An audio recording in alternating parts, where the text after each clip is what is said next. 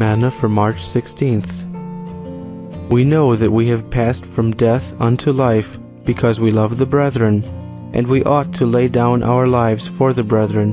1 John 3, verses 14 and 16. One of the final and most searching tests of these brethren, and the one under which probably the most of those once awakened and armed will fall, will be love for the brethren. Seemingly, many will fail at this point, and be therefore accounted unworthy of an abundant entrance into the kingdom on this score.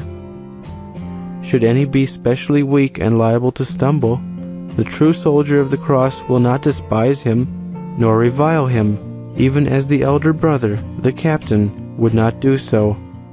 On the contrary, he will be the more watchful and helpful toward the weaker, even though he most enjoy himself in the company of the stronger.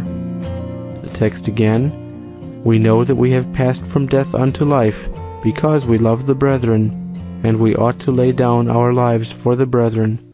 1 John 3, verses 14 and 16.